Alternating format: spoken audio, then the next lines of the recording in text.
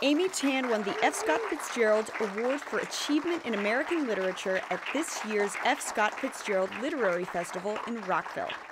I'm, for one thing, really honored because so many writers I truly admire, who, who are my icons, have been honored by this. 14 MCPS high school students were selected as Fitzgerald Scholars. These students received a private masterclass from Tan.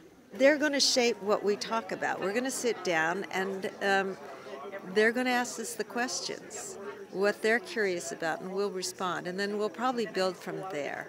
I mean, I'm really interested in becoming a writer in the future, and so the opportunity to work with someone who has received so much success throughout her career is a huge opportunity for me, and I am eager to learn anything and everything that she's able to teach.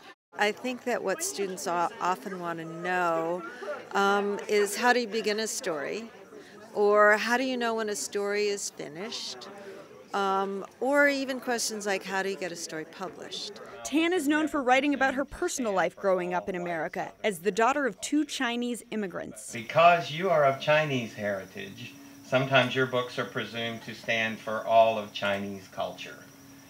Again, that's a burden and a curse. I accept it. Right? No. yeah. Tan said she is honored to receive the same award won by Joyce Carol Oates, Norman Mailer, John Updike, Pat Conroy, and Jane Smiley. This is also um, a chance for me to reflect on what we owe to our greatest American writers, including F. Scott Fitzgerald. Reporting in Rockville, I'm Deirdre Byrne for My MC Media.